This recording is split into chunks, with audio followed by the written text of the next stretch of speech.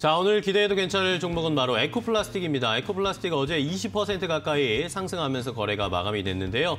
두 분의 의견 전문가와 함께 나눠보겠습니다. 더 간다, 더 올라갈 것이다 라고 두 분은 공통적으로 의견을 해주셨는데 자, 효율을 높이는 자동차 부품주로 부각을 받는 에코플라스틱 더 상승할 수 있을 것이다 라고 한 분이 의견을 주셨고요.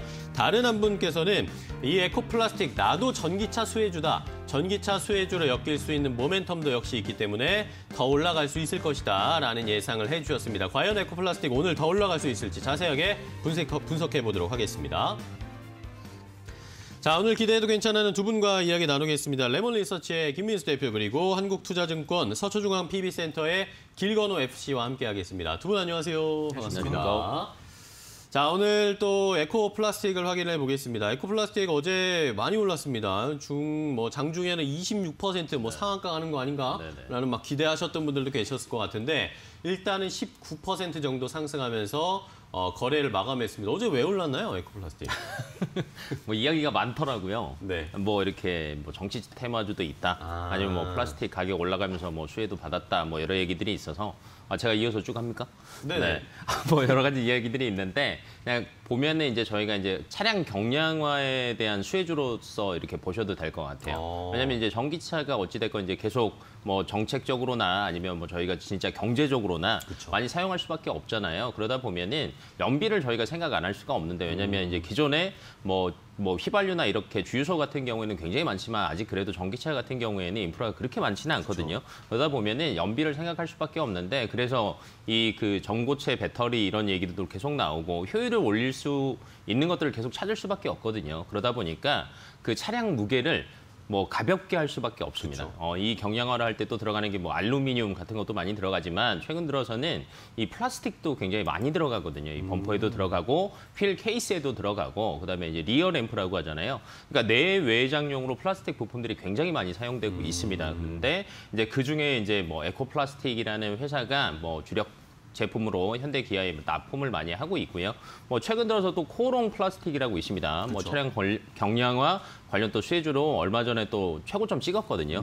예, 그에 따른 영향도 있는 것 같아 보이기도 하고 그다음에 이제 플라스틱 자체 수요가 굉장히 많이 늘어났습니다. 늘어나다 보니까 뭐 한 10개월 전에 비하면 가격이 한 3배 이상 올랐다고 하더라고요. 그래서 이게 오. 판가에도 또 반영이 되면서 어, 영업이익이나 이런 것들이 조금 더 좋아질 것으로 예상이 되고 있어서 그런 영향을 받지 않았나 싶습니다. 네, 좋습니다. 말씀해 주신 것처럼 어제 또 정치 테마주로 약간 부각이 네. 되기도 했고 하지만 또 이면을 더 들여다보면 이 자동차 경량화와 관련된 부품들을 만들고 있기 때문에 이것도 에코플라스틱도 전기차 수혜주로 엮일 수가 있는 상황 이런 이야기들이 계속 엮이고 있습니다.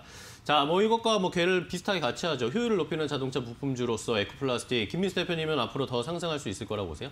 네, 어, 지금 정치 테마 쪽은 잘 모르겠고요. 네. 어, 그냥 이쪽이 트렌드인 것 같습니다. 네네, 그러니까 그쵸. 돌아가면서 관련된 종목이 움직인다라고 하게 되면 이쪽에 대한 어, 실적에 그리고 또 변화 가능성들이 상당히 높구나라고 음. 보시는 게 더 맞지 않나 생각되고 있고요. 어, 특히 플라스틱 범퍼 쪽에 강점이 있다가 점진적으로 확산되는 상황들인데 네네. 어, 특히 자회사가 뭐 아이아, 뭐 코모스 이런 회사가 있는데 어, 처음에 고무 부품이나 아니면은 어, 또 여러 가지 밸브 이런 쪽으로 들어가다가 기아 쪽으로 많이 들어갔었고요. 네네. 어, 그러다가 이제 오히려 현대차 쪽으로 이번에 신차가 신차 쪽으로 확대된다라고 하게 되면 어, 기대감이 높은 상황들인데 어, 실적만 보게 되면 2016년도부터 어, 작년까지 별로 안 좋았습니다. 그러다가 어, 1분기 때 실적을 보다 보니까 상당히 턴어라운드를 할 수 있는 기반을 마련했다라는 쪽으로 이어지면서 네. 올해 이 기조만 나오게 되면 지금 주가가 비싸지 않다고 음. 보여지고 있는데 그런데 하나 약간 부담은 부채 비율이 한 470% 된다는 거는 약간 네. 부담은 된다고 보여지는데 돈 잘 벌어서 부채 갚아야죠. 네, 그러면 네. 괜찮지 않을까 싶은데 이런 상황들 올해 계속 지켜봐야 될 것 같습니다. 네, 좋습니다. 자, 에코플라스틱 어제 좋은 흐름을 나타냈습니다. 뭐 정치 테마로도 엮였다라고 하면서 이슈를 어, 보시는 분들도 계시겠지만 이 회사 자체의 내부적인 모멘텀들을 봤을 때 뭐 전기차라든지 자동차 경량화 관련된 어, 부품으로서 최근에 뭐 트렌드니까요. 어, 이것에 함께 편승하고 있는 에코플라스틱 실적 턴어라운드 하면서 주가도 더 갈 수 있을지 잘 한번 확인해 보시면 좋겠습니다.